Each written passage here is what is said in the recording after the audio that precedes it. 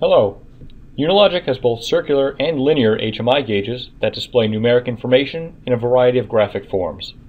This helps display information quickly and accurately to an operator.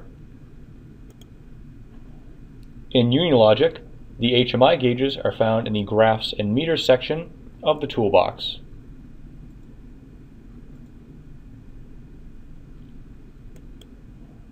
For circular gauges, they can be configured to full circle, half circle, or quarter gauges and can be utilized with any 8 or 16-bit numeric tag. Multiple gauge styles and a range of colors and values can also be set up within each gauge to display the information easily.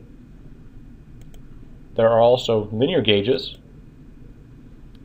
These have the benefit of simultaneously displaying additional numeric tags, which allows for a greater comparison of information. A basic level bar, an optional marker, and a range bar can all be set up within a single gauge. Additionally, a static color range can be displayed and set up next to the level bar.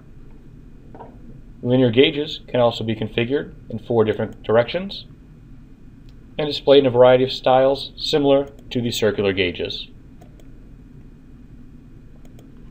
Bringing up this demo on a VNC viewer.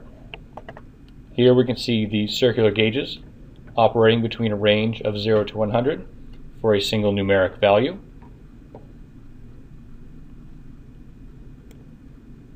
And moving on to linear gauges.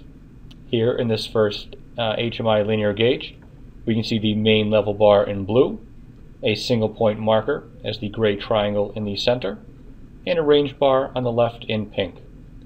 This can be displayed as well as a static color range displayed on the right side of the gauge. Thank you.